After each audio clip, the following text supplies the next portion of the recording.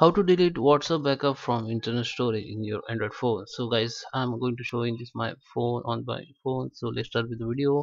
Uh, before we start i request you if you like this video hit the like button subscribe my channel and don't forget comments below. So guys without time wasting let's start with the video. So here we are this is my android phone and i have to go first on file manager. So this is file manager. You can if you don't have this file manager you can download from play store okay so I just okay I have to come back and here. Okay you will see interface like this your download image. Just scroll down and you have to enter your main storage. So I just hit my internal storage.